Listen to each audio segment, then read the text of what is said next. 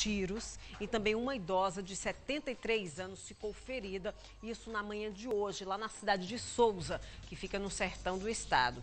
De acordo com a polícia, dois homens chegaram lá no local e efetuaram os disparos. Francisco Alves ainda tentou correr, mas foi atingido e não resistiu aos ferimentos.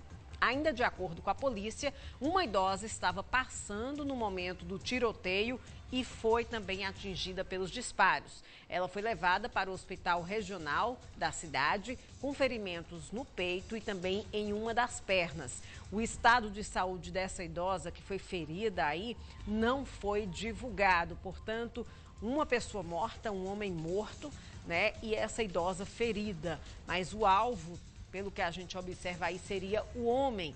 A mulher estava passando pelo local e acabou sendo atingida. E três pessoas